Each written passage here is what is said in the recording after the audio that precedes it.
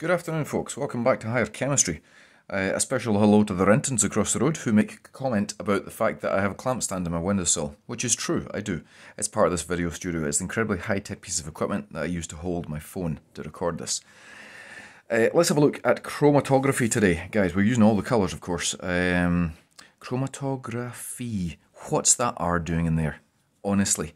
I, I'm going to say that that could have been a deliberate mistake to help you see what the point of chromatography is, but it wasn't. I just can't spell.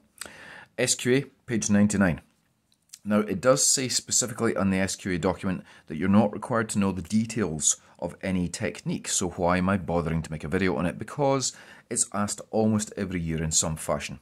And I'm going to outline two favourite uh, chromatography techniques, both of which cover the learning outcomes here. Let's have a look at paper chromatography first which is probably one of the oldest ones. You can actually do this at home if you fancy a shot at it, piece of cake. We take a paper, a sheet of filter paper, basically. You can also get special chromatography paper. Um, it is dipped into a solvent. Um, there's a baseline drawn in graphite. wonder if you could figure out why graphite's a good one. Wait and see how the rest of the video goes and come back to it. Baseline drawn in graphite here. And then on the graphite, you will have a sample. Now, what is the point of chromatography? The point of it is it's used to separate complicated mixtures of chemicals. I probably should have said that at the start. I'm an idiot. Uh, how does it achieve this black magic of separating uh, chemicals? One of two ways. It's either based uh, on the polarity of the molecules in the mixture versus the polarity of the solvent um, that you dip it into. Let's do our solvent in blue today. Um, so there's our solvent there, which you notice is actually under the baseline. Don't put the baseline into the solvent, otherwise you screw up the experiment. So this solvent here will have a certain polarity. It doesn't have to be water. Um, it can be a whole bunch of things. And the molecules in here will have a certain polarity. And depending on how close a match the polarity is here and here, if it's a very good match, then as this liquid soaks up the paper, which it will by capillary action, you'll end up eventually at the end of the experiment with the solvent line up here. If the polarity of these molecules matches quite closely the polarity of the solvent, then these molecules will love to dissolve in the solvent and will get dragged up the paper quite high up, possibly right even up into the line. If, on the other hand, the polarity of the molecules in your sample is very different from your solvent, then they won't budge an inch. They'll just say, no, thank you very much. I don't want to dissolve in you. Because, of course, like dissolves like. Go back and have a look at my other video. If I remember, I'll try and put a link somewhere up here, probably, um, to go to that video based on polarity and solubility. Um, so this is paper chromatography. So you put your blob of your sample here. So we'll call this sample. Uh, and as I said, it separates. So with a bit of luck, you'll find that your, I'll just juggle this pen, you'll find that your sample will separate out into quite a few blobs. The number of blobs corresponds to the number of substances that were mixed up in this sample. These will sort of separate out as they spread up the paper. You should go and try this. I'll explain how to do it at the end. It's great fun. Now, that in itself doesn't tell us anything, um, but let's just say we're testing a drugs sample here. Uh, along the bottom here, we will also put blobs of known drugs. Uh, let's do them in different colours. Why not? Because we can. Chromatography, by the way, is Greek for writing with colour. Uh, chroma as in colour and graphy as in writing. So let's test some drugs here. Let's go with uh, cocaine. Um, in black, let's have LSD. Probably not use much, showing my age. MDMA. That's probably more like it. Um, and let's have some um, morphine. Not actually a drug as such, some a medicine, I know. Let's just say an opiate.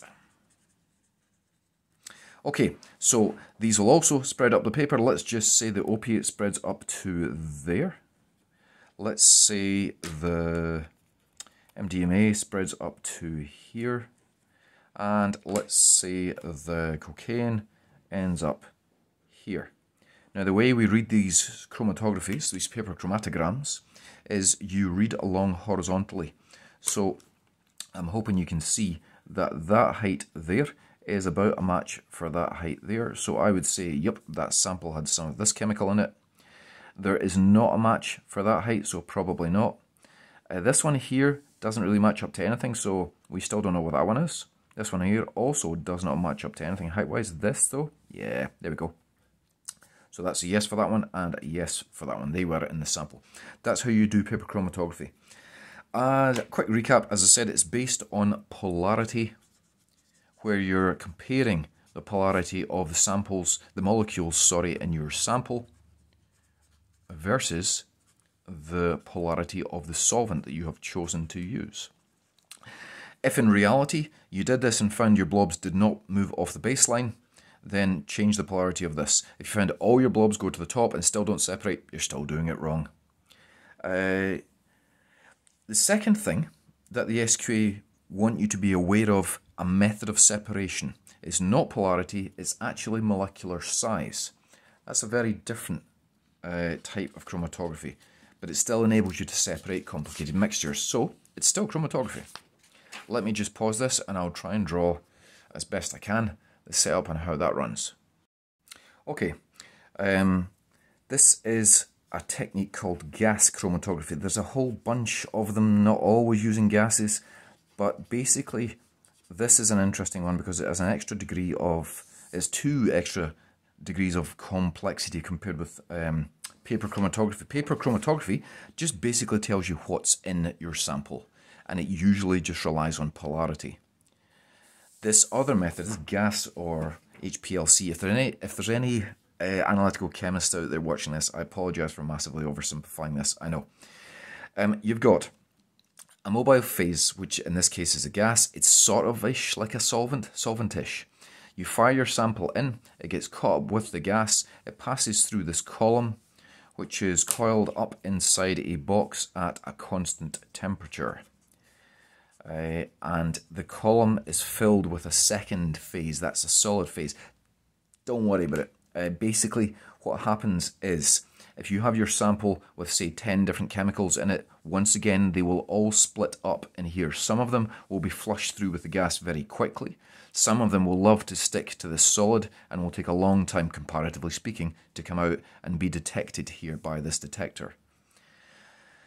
Uh, and it the time that it takes to go passing through this equipment depends on two factors. Now, it can once again depend on polarity compared to the solid and the gas for your sample molecules, but it can also depend on molecular mass.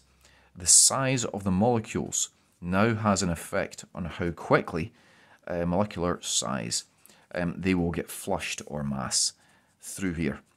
Smaller molecules tend to pass through faster. Bigger molecules, as you might expect, will tend to take longer to work its way through this solid here and then be detected. Uh, now, I showed you how to read a paper chromatography. It just looks like that. That's your finished product, basically. I don't suppose I've got any here. I did a couple last year and brought them home to show you. Um, what does a gas chromatogram output look like? It's a bit more technical, but it has the second thing Remember I said there were two differences? Well, that's the first difference. Molecular size now has an effect. And also this, although it's harder to read, is the total business because now you've got intensity, which is the intensity of the signal that the detector picks up against time, effectively. Uh, and you'll get a series of spikes of intensity versus time uh, and your output looks something like this. Now, this is just the business because instead of just telling you that the chemical is present, now, if you have a look at the area under these peaks, you can actually tell how much chemical of this there is relative to the other chemicals. That's nice.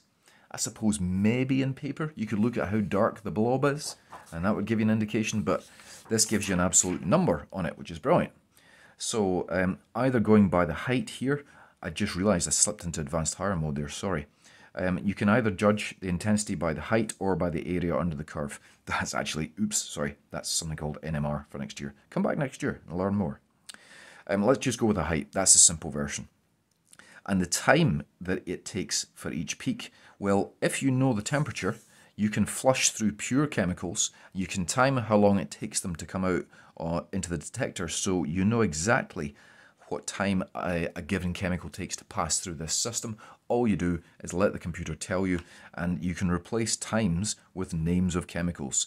Uh, MDMA, cocaine, opiates, and forgotten what the other one was. There wasn't a third one. It was. Um, these have all come from this sample, for example. And I think that's about it. Let me just check that I haven't missed anything. Nope, that's it, folks. Uh, thanks for listening. Uh, on the basis of chromatography today, two different methods. You, do you need to know these methods? No, no, you don't need to know those methods. But as I said, you need to know the ideas behind them. Uh, these typically crop up in problem-solving questions. Um, I've seen, for example, I've seen a problem-solving question once before where a spike on here, when like that, it was actually cut off. So in other words, it was too intense for the machine to measure. The intensity went right up to 100% here and then topped out. So to get a true indication of how much chemical there really was, what you should of course done is either use a smaller quantity of sample here, reduce the sample, or dilute the sample. Uh, if you dilute the sample by a factor of 10, say for example, and then you only get a signal that goes here now, now you can read the height and multiply it by 10, and that would have told you how much was in your original sample. But we're wandering very close to volumetric analysis here in titration, and I've already done that. Um, so thanks for listening, folks. Just a quickie today. Bye-bye.